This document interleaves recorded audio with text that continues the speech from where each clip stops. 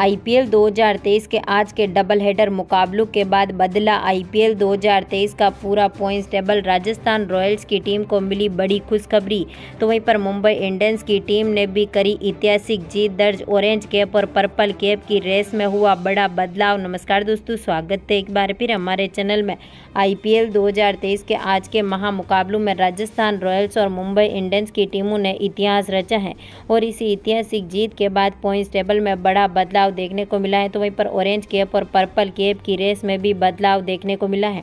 तो दोस्तों, इस वीडियो में हम आपको बताएँगे कि आखिरकार ऑरेंज कैप और पर्पल कैप की रेस के टॉप फाइव बल्लेबाज और गेंदबाज कौन से हैं। इसके साथ ही हम आपको बताएँगे कि यहाँ पर पॉइंट्स टेबल में कौन सी टीम कौन से स्थान पर चल रही है। टॉप फोर टीमों के बारे में भी तमाम जानकारी हम आपको इस वीडियो में देंगे। तो दोस्तों सब जानने के लिए बने रहे इस वीडियो का आखिर तक। और साथ ही, अगर आपने अभी तक हमारे इस चैनल को सब्सक्राइब नहीं किया है तो आईपीएल से जुड़ी हर एक लेटेस्ट अपडेट के लिए चैनल को सब्सक्राइब करके बेल आइकन ज़रूर दबा लें और साथ ही साथ इस वीडियो को दिल से एक लाइक ज़रूर कर दें। अगर आप भी राजस्थान रॉयल्स और मुंबई इंडियंस की टीमों की इन ऐतिहासिक जीत के साथ खुश हैं तो तो दोस्तों, आज के मुकाबले में शानदार परफॉर्मेंस मुंबई इंडियंस और राजस्थान रॉयल्स की टीम का देखने को मिला और इसी शानदार परफॉर्मेंस के साथ ही पॉइंट्स टेबल में बड़ा बदलाव देखने को मिला। तो यहाँ पर पॉइंट्स टेबल में आखिरी पायदान पर मौजूद है दिल्ली कैपिटल्स की टीम जहाँ पर दिल्ली कैपिटल्स की टीम ने अब तक पाँच मुकाबले खेले हैं। पाँचवें मुकाबले ये टीम हार चुकी है। इस टीम की नेट हंड्रेड है माइनस एक पॉइंट चार आठ आठ के साथ ये टीम नंबर दस पर मौजूद है। तो वहीं पर नंबर नौ पर सनराइज हैदराबाद है। सनराइज हैदराबाद की टीम ने भी चार मुकाबले खेले हैं, दो मुकाबले जीते हैं, दो मुकाबले हारे हैं। इस टीम के पास चार पॉइंट है और net run rate minus zero point आठ दो दो के साथ ये टीम नंबर नौ पर मौजूद है। तो वहीं पर नंबर आठ पर मुंबई इंडियंस है। मुंबई इंडियंस की टीम ने भी चार मुकाबले खेले हैं, दो मुकाबले जीते हैं, दो मुकाबले हारे हैं। इस टीम के पास चार पॉइंट और नेट हंड्रेड है, माइनस ज़ीरो पॉइंट तीन आठ नौ के साथ ये टीम फ़िलहाल नंबर आठ पर मौजूद है। तो वहीं पर नंबर सात पर रॉयल चैलेंजर्स बेंगलुरु की टीम है, जहाँ पर रॉयल चैलेंजर्स बेंगलुरु की टीम ने चार मुकाबले खेले हैं।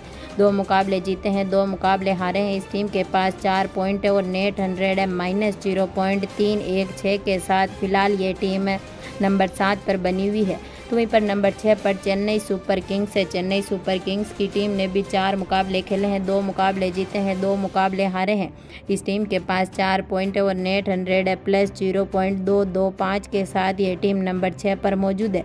तो वहीं पर नंबर पाँच पर Kolkata Knight Riders Kolkata Knight Riders की टीम ने पाँच मुकाबले खेले हैं, दो मुकाबले जीते हैं, तीन मुकाबले हारे हैं। इस टीम के पास चार पॉइंट और net run rate plus zero point तीन दो ज़ीरो के साथ ये टीम नंबर चार पर बनी हुई है। तो वहीं पर टॉप फोर टीमों में फ़िलहाल नंबर चार पर पंजाब किंग्स है। पंजाब किंग्स की टीम ने पाँच मुकाबले खेले हैं, तीन मुकाबले जीते हैं, दो मुकाबले हारे हैं।